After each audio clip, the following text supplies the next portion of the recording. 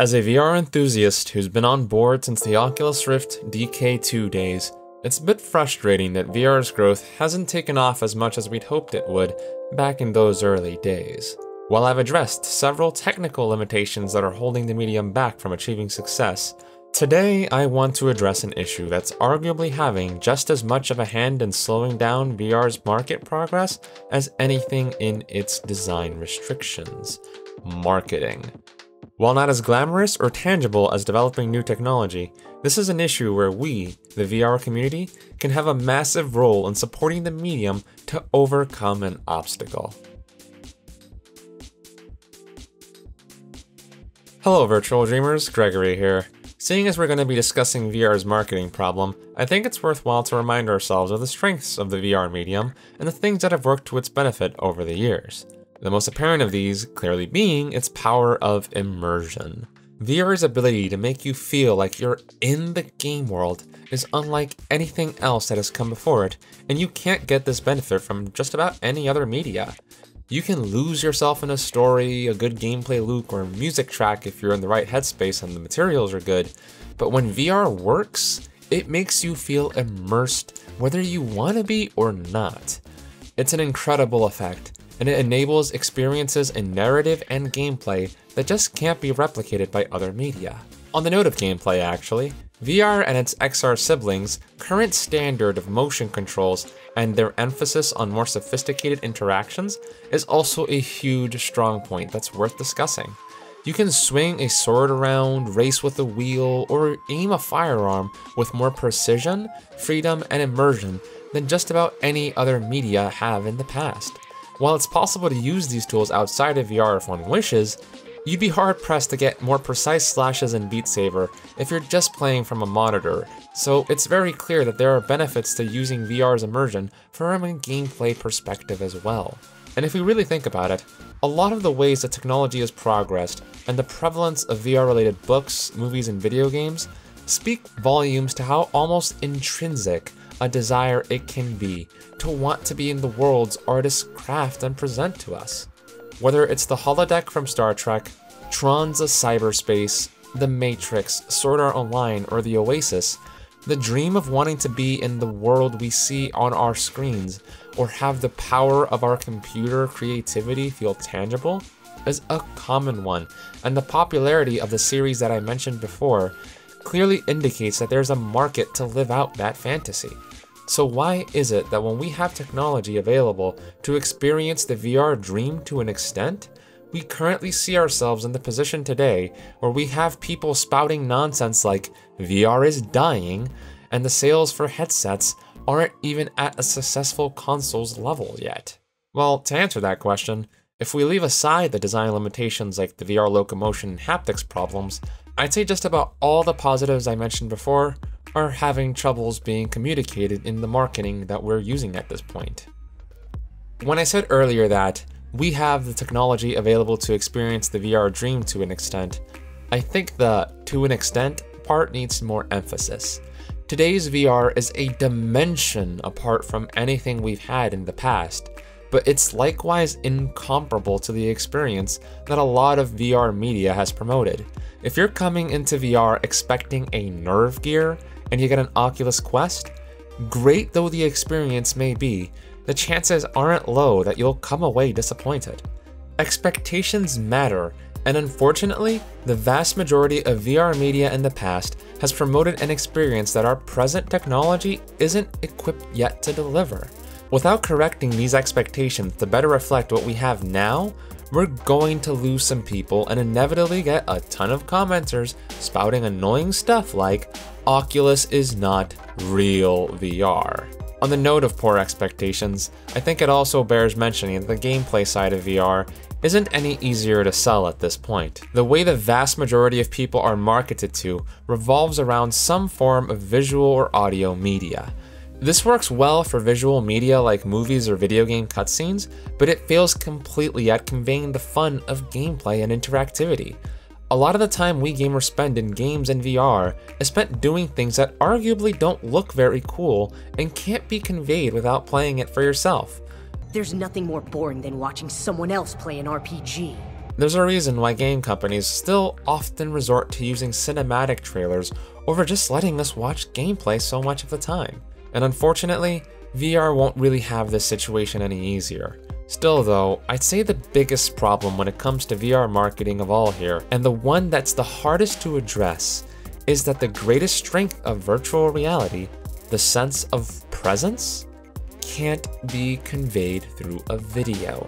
To give you a point of reference here, I've been a VR enthusiast from the day John Carmack presented the Oculus Rift prototype at E3 of 2012. I was a gigantic Sword Art Online fan as soon as the anime came out, and I spent just about every day for over two years thinking about VR immersion while I was designing my VR rig. So keep all that in mind when I have to make the admittance that I completely failed to comprehend what the actual sensation of virtual reality presence and immersion were like until I used it for the first time with the Oculus Rift Development Kit 2. VR is unfortunately an experience that you have to try to understand properly. That is terrible for marketing here, since it means the very best reason to try out the medium is restricted to only being useful for people who have basically already been sold on the medium. It's like we're trying to market a movie using only screenshots, or manga with only text synopses. Sure, these are elements of the medium, but without the ability to convey the best aspect directly, we have to admit that we're working at a bit of a handicap here. While all of the blame can't be levied on marketing to explain VR's current woes, the situation isn't a pleasant one and it'd be better if we could find a way to deal with it. Thankfully, unlike the VR locomotion problem in VR haptics, this isn't a problem that we have to invent new technologies in order to resolve. So let's look over what we can do and what is already being done in order to address this prevalent issue. With regards to VR media and shows, while there are still quite a bit of stuff being released that looks towards a future that is probably still a good ways off, we are thankfully starting to see more awareness of VR coming in from what we actually have in media that is more grounded in its approach to the subject. Ready Player One's movie, different from the book in many ways though it may be, has thankfully done a good bit to better promote the idea of high immersion VR through the use of more sophisticated rigs and better hardware, rather than going straight to brain computer interfaces and reality warping. Even if normal marketing isn't the most effective way to sell VR, at the very least, it's helping to mellow out expectations so people come to the medium with an open mind rather than expecting it to give them unlimited sex and food. For what it's worth as well, while VR gameplay arguably may not be as flashy as the crazy animations of normal video games, this doesn't mean that there aren't aspects to it that aren't impressive and difficult to replicate for other media. When you have singular games where you're able to shoot zombies, draw on a board, and play a piano, all without any change to the control or having to relearn a set of buttons, you've got something pretty cool on your hands. VR's strength in gameplay is the nigh unlimited versatility that it allows, and I think the positive response a lot of people have to seeing mixed reality videos where you can see how the gameplay of a person is impacting the virtual world shows that we aren't completely beaten in this area. Hopefully the desires for gamers to get more real gameplay from trailers versus scripted nonsense and cutscenes too may mean that we'll see more receptiveness to slower gameplay trailers as a whole, which would be good news for VR. Finally, while I did say that VR's biggest asset, presence, does have the issue of not being communicable without trying it, it must also be remembered that VR's greatest strength is its ability to communicate that presence feeling almost instantly when you try it. That means that the best way we have to market VR is to simply put, get people to try it. This is an area where we, the VR community, have way more power than even multi billion dollar companies.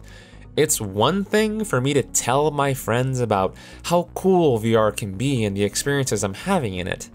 It's another thing entirely for me to bring my Oculus Quest over to their houses and for us to play Beat Saber and Superhot all afternoon. The former approach just made for fun conversation.